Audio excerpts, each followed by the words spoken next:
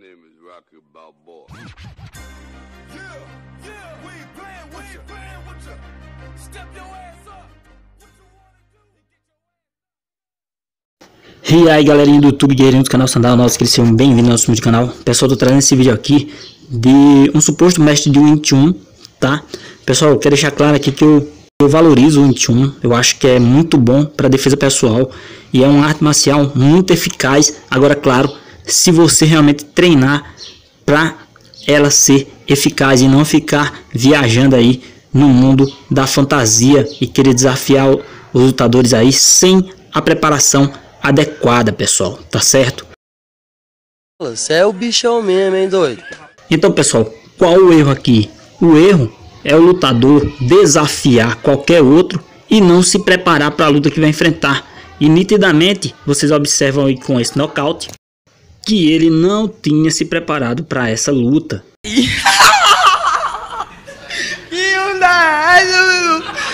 o bicho carrega a luva do cara, mano.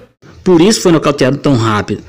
Eu aqui sempre que preparo os alunos, os atletas para lutar em qualquer competição, seja de K1, de Muay Thai, de Sandá, eu procuro trabalhar em cima das regras que a gente vai enfrentar, ou seja, eu preparo o aluno em cima de tempo, pontuação, o que pode, o que não pode utilizar, entendeu? Então a gente a movimentação da luta, tá? E a gente observa aqui que esse lutador aqui, esse mestre, ele não tem movimentação, ele ficou um pouco perdido, acabou sendo nocauteado muito fácil, não se preparou para essa luta.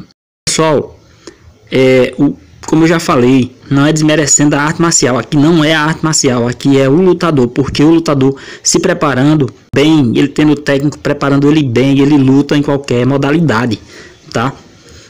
Atleta meu luta em qualquer modalidade que a gente se preparar para enfrentar, se a gente realmente for trabalhar em cima do que vai enfrentar. É claro, para não sair dessa forma aqui, quebrado, arrebentado, tá bom?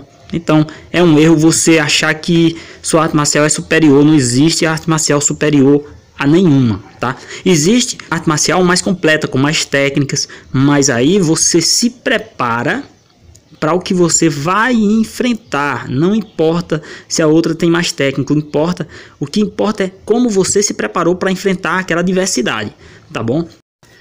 Vocês observem agora essa outra luta aqui, aqui é o lutador de Sandá, tá? Contra um lutador de Wing Chun. Esse é o lutador de Wing Chun, tá? Não me perguntem os nomes. Vocês observam aqui, ele treina no Mojong, beleza? Mas a diferença, pessoal, é que esse aqui, esse lutador aqui, ele se preparou para a luta.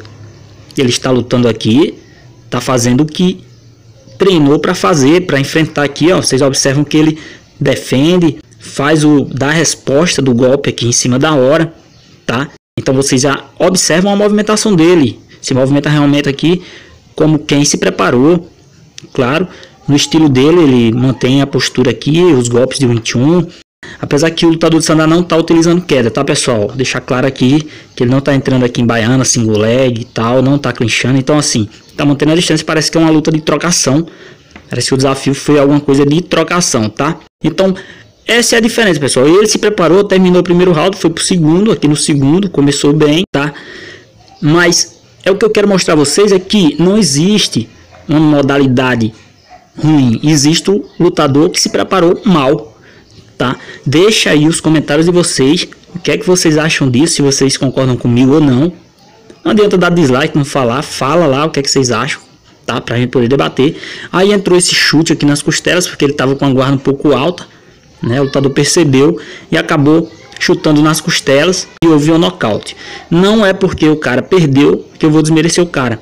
Ele estava fazendo uma luta bacana, estava se movimentando bem, tá bom?